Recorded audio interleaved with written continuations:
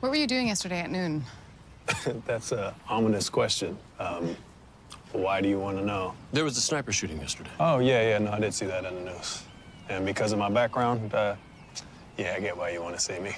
The answer to your question actually has some irony to it, though, because yesterday afternoon I was actually at the gun club downtown. Oh, that's good news. You got any proof of that?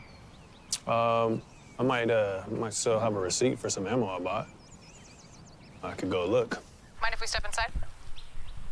Uh, yeah, yeah, I do. But I'll be right back out.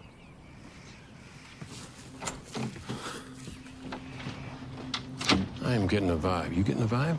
Big time vibe. Smart about that alibi, though. Gives him a reason to be in the vicinity. Lucy, I'm looking at a rifle. That gives us probable cause. I told you to wait outside. Sir?